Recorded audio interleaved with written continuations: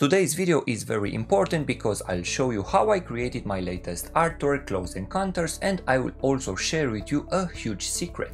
Envato Elements is offering all their stock assets for free for one week. So you can get a 7 days free trial and you can use all their photos, videos, templates, 3D assets, music, fonts, overlays and so much more.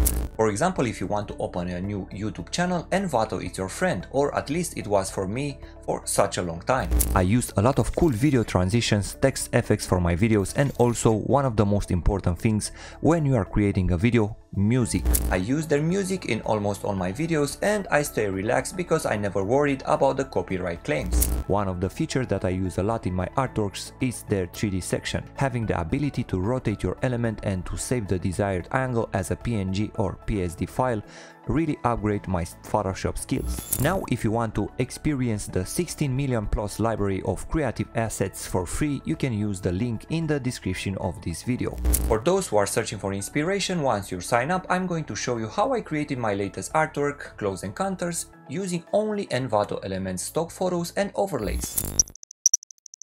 This is the starting image and to this one I went to filter blur and added a Gaussian blur at 2.3 pixels. Then I always add uh, levels when I'm doing a night scene and I decrease the whites. And on top of my sky I wanted to have some galaxies so I have dragged this image that I also have from Envato and to the images like that where you have a lot of darker areas you set them to screen. And then press Ctrl and L for levels and here you can increase the contrast by dragging the slider to the right and then hit OK. And I have repeated the process drag the image to the right and made it uh, bigger. By following the same idea I have added some meteors. So I have this image also from Envato and set the blending mode to screen again. And press Ctrl T to rotate the image and place it uh, wherever you want. And then hold alt click on the mask and with the brush tool and the color set to white you paint on that area and you show only the area that you paint. And then for my main action I went with this image. So I have taken the pen tool and selected the area that I wanted from it. And then when I finished I press Ctrl and enter and added a mask and drag this image into my document. And the first thing that I'm always doing is to work on the lights and in my case I use levels. So I decrease the white slider to the left and I adjust the colors by using uh, color balance and the layer is set to color. Then a thing that I'm always doing, which I call it uh, dodge and burn, is to add uh, more contrast and to decrease the lights in my image. So for that go to layer, new layer and here choose the blending mode soft light and fill it to 50% gray and take the brush tool and the black color. And then now if I started to paint with that color and don't forget the flow should be really low, you'll see it will darken up my image and in the same time it will increase the contrast. After that for the highlights I'm using a layer set to linear dodge. So create a new layer and fill it with black, then set the blending mode to linear dodge. Let's take the brush tool again and now I'm going to select a color from the sky, let's say this one, and I'm starting to paint on that area where that light is touching my heel. And on the left side I'm going to select a darker blue and I'm going to paint on that area. And if we look at the image, we see that it doesn't really look that well. So double click on the image and here we are going to use the blend if to disperse the colors. So hold alt and drag the right slider to the right. To have a more atmospherical look to our image, I'm going to add some fog and I have added this fog behind the hill and another one in top of everything. This is just a normal painting with a fog brush or whatever brush you are using for my main character I was lucky enough to find this really cool picture with this little boy and I have selected uh, the part that I wanted to use and because I really didn't like his uh, right arm I had to change it with another one. I searched a lot for an image that uh, the person had a hand like that. So uh, in my case I found this guy on uh, the 3D part of Envato. I have rotated him until I had this angle and because the hand was too close to his uh, body I have added a puppet warp. So go to edit and here choose puppet warp. And just click on some parts that uh, will be fixed. And if I'm going to drag this uh, of course you can uh, drag many points if you want.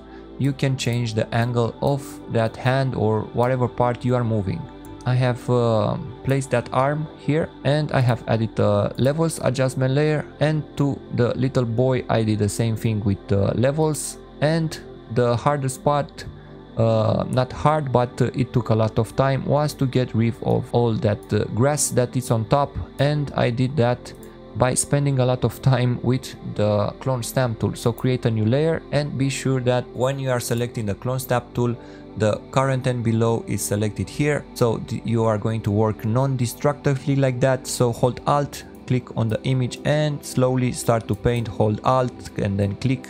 And you repeat the process until you are uh, satisfied with the result. So after a while with the clone stamp tool i have uh, i have this result. After I had dragged uh, the little boy here, first thing that I did was to add levels of course and uh, then color balance the same I modified a bit uh, the midtones and darken up everything with using that soft light. And with a hue and saturation I have changed the colors here on uh, the backpack thing. A thing that I really love to do all the time is to draw to manually draw some hair. So this is the hair that I draw. And I have uh, added those highlights those rim lights using that uh, linear dodge method. And on top of everything I have manually drew with a white color. This is what I did with a white color on a layer set to linear dodge. When I have some night scenes like that, I always add some really powerful glow. So in my case, I use color dodge. So you create a new layer and fill it with black and then set it to color dodge. And then with the brush tool and in our case with the white color if we start to paint on the image you'll see that it will add a really cool glow on the areas that you are painting. But try not to exaggerate because it will destroy like that the image.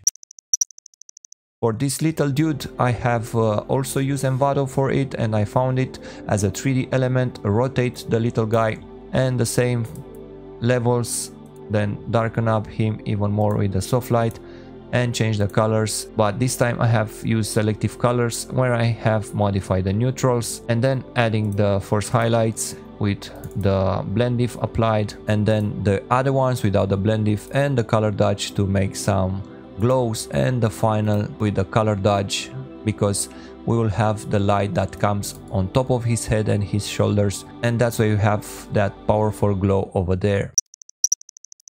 I found this really interesting uh, alien ship. I went to filter, here I choose blur and then motion blur. And I have um, tried to find a good angle for the motion blur and decrease the distance to around 10%. So you know what I do first, levels, and then I added those highlights where I have painted uh, with a pinkish color to the left because my ship had a different uh, black uh, values. You see the black is really black and I really didn't want that. I created a new layer and set it to lighten. And then I took the brush tool and select a color from the sky this one and I made it uh, really dark and I started to paint on my image. I don't know if you see the difference um, but uh, they have some uh, magenta tones in them and that uh, will uh, make my ship to blend better with the background. And then added a new layer and set it to overlay. And I took the brush tool. And for example here on this area where the light will come from I painted with a yellowish color. And uh, where we have the lights here on the ship I painted with uh, um, orange color. And all over the place I have painted with a bluish color and uh, my ship now has uh, also a blue tone and then on top of it I added more glows using color dodge and at the end I have painted with white some highlights on my ship.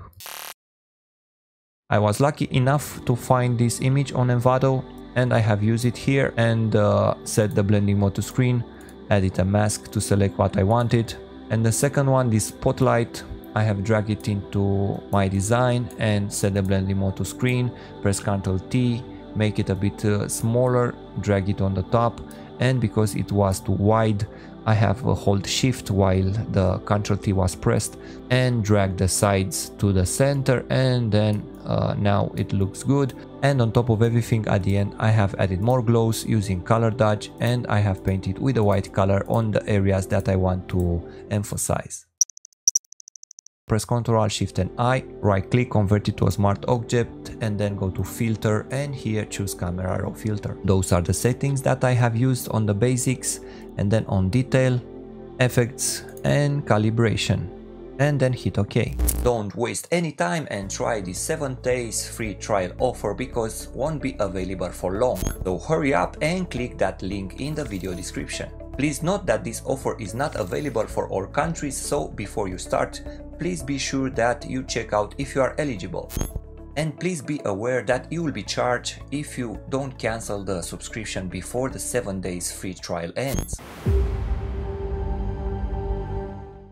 If you want to have your posts featured in my videos, please use the tag Mr23 Review whenever you post your work on Instagram.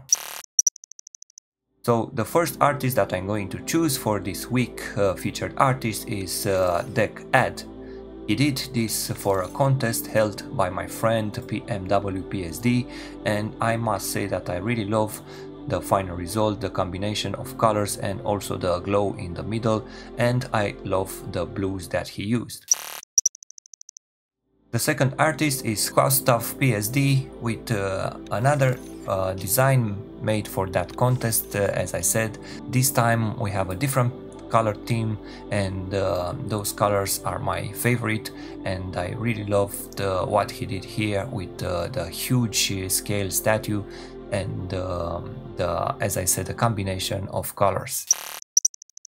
And the last artist uh, for this week featured artist is Jendi Art with another masterpiece uh, uh, again for the same contest and uh, I must say that his attention to detail is uh, amazing and looking at the assets that he used in creating this design uh, makes me appreciate even more the final result. So congrats Jendi for this awesome design. I hope that I convinced you to try Envato for free and if you like my video please don't forget to subscribe to my channel and also leave me a comment down below with your thoughts about my art. See you next time!